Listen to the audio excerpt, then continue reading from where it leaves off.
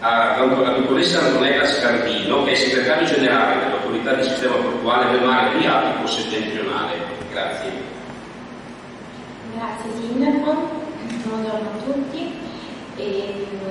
allora, eh, molto importante anche per noi questo momento diciamo, di eh, presentazione eh, della, della, della continuazione dell'iniziativa eh, inerenti alla riqualificazione ambientale delle aree per la realizzazione del banchini ARP del terminal fluvio marittimo in Val d'Arido e Chioggia, in quanto come anticipato dal sindaco noi abbiamo eh, ovviamente competenza su quell'area in forza della costituzione dell'autorità di sistema portuale eh,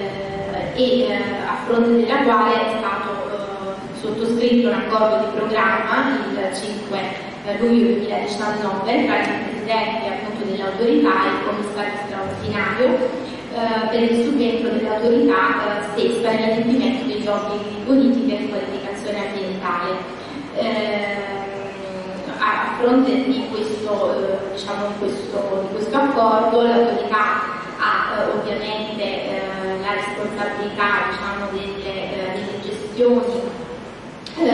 delle gestioni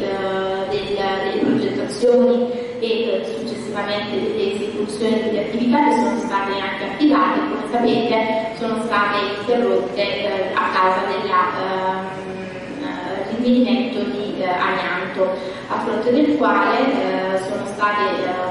è stata decisa una strada che apporterà a questi piloti per identificare le modalità migliori per la continuazione delle attività particolare per un aggiornamento dello studio di progettazione al fine di completare effettivamente il percorso di bonifica ormai avviato da molto tempo.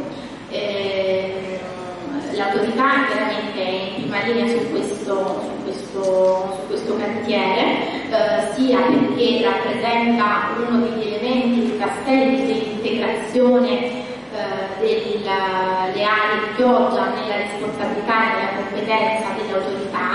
sia perché ovviamente stiamo eh, lavorando per lo sviluppo eh, della portualità nel porto di Chioggia. Ricordiamo che eh, ci sono due anime della portualità a Chioggia, una l'avete recentemente ovviamente vista con gli eventi sulle crociere che sono arrivate a partire dal 17 giugno scorso e un'altra della parte condene che si svilupperanno ulteriormente nella parte saloni e un'altra della zona Laudario che eh, è rappresentata prevalentemente da ambiti commerciali. Quindi eh, questi lavori di bonifica, oltre che rilevanti sotto il profilo ambientale e di sicurezza della cittadinanza, saranno anche importanti per riportare nella destinazione portuale le aree eh, che al momento purtroppo non possono essere utilizzate, rafforzando ancora di più la presenza portuale sotto il profilo commerciale di quelle, eh, di quelle zone.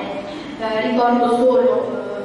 eh, insomma, il contesto che il traffico merci su Chioggia è un traffico che è rappresentato prevalentemente sul 28% di siderurgia un uh, 25% traffico sale, un 20% settore chimico e un 10% della parte uh, cemento. Uh, chiaramente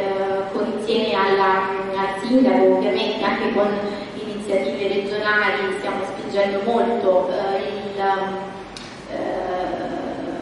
la, il volano che, post, che può, può trainare la città eh, attraverso la spinta produttiva e quella eh, economica. Non vorrei rubarvi ulteriore tempo per lasciare insomma, approfondimenti tecnici poi sulle eh, iniziative di avvio di, del pilota sull'amianto.